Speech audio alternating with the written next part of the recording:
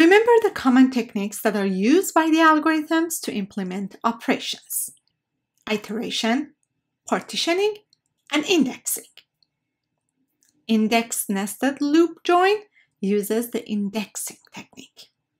It uses the assumption that there is an index on the inner relation.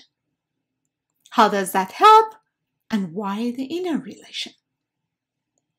It helps in that for each tuple that we have in the outer relation, the index for the inner relation can be used to match the tuple. In this way, there is no need to enumerate the cross product of R and S, and the join condition is checked using the available index.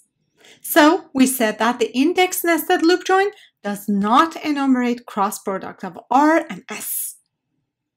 So let's see how the cost of checking the condition will be different in this way. Again, repeating the same assumptions, let's consider that we have m pages in relation R, each page containing PR tuples. Also assume we have n pages in relation S, each page with PS tuples. Cost of scanning R is still the same, because we need to load m pages into the memory. Cost of retrieving matching tuples from S depends on the type of index available. If the index is B plus tree index, the cost to find the appropriate leaf is on average 2 to 4 IO operations. And if the index is a hash index, the cost to find the appropriate is on average 1 to 2 IO operations. Then the cost of retrieving matching tuples depends on whether the index is clustered or unclustered. If it is clustered, the cost of all matching tuples from S to a single tuple from R will be only 1 IO.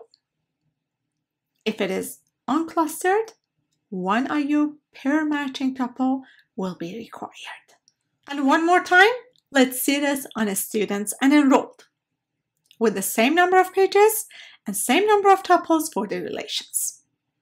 Say we choose R to be our students table with 1000 pages and 100 tuples per page, and S to be our enrolled table with 500 pages.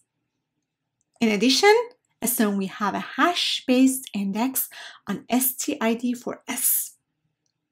And we know that the average cost of matching tuples using this hash index is 1.2. We also have to consider the cost of one page load for getting a page containing the qualifying tuple after getting the data entry from the index. This will bring us to the final cost, which is the sum of the cost of reading table R, which is 1000, plus the cost of matching a tuple with each tuple from R. The number of tuples in R is m times PR, which is 1000 times 100.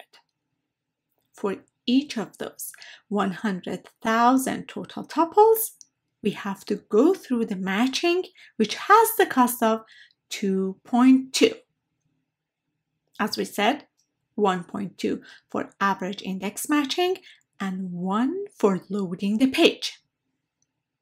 Therefore, the total cost is 1000 plus 2.2 times 100,000, which is 221,000 IO operations.